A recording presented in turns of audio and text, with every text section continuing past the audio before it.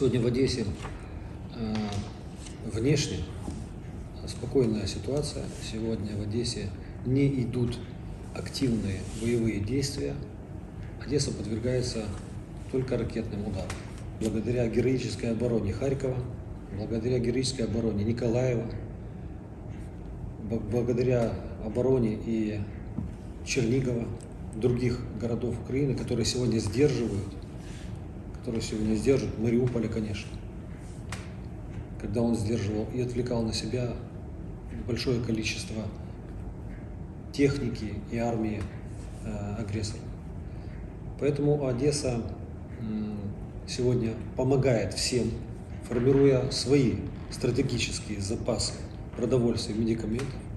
Одесса сегодня помогает тем городам, которые нуждаются в помощи, в медикаментах и продуктах питания продовольственных, э, продовольственных групп.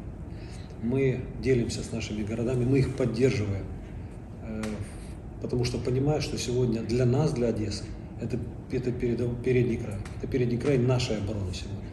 Поэтому мы, э, я постоянно на связи с мэрами городов Харькова, Николаева, другими городами, Чернигова. И, конечно, мы обмениваемся Киева, и мы обмениваемся информацией, какая помощь нужна, если у нас есть данные медикаменты или продукты питания, продовольствие, мы сразу отправляем им гуманитарный груз.